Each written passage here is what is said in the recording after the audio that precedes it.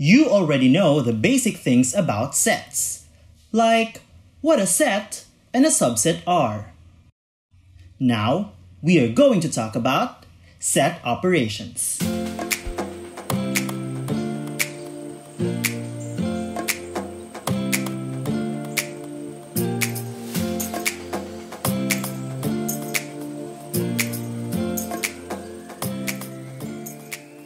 Say we have set A, which contains the numerical elements 1, 2, 3, 4, and 5.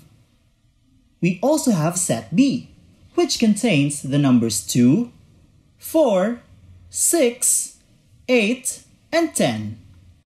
Listing down the elements, we see that their common elements are 2 and 4. Drawing up a Venn diagram, it would look like this.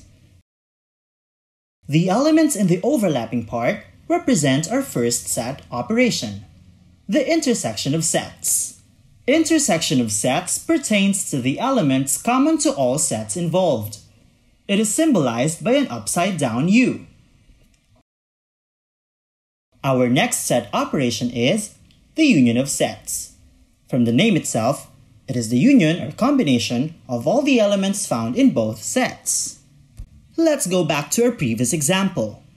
The union or combination of all the elements is represented by this portion of the Venn diagram.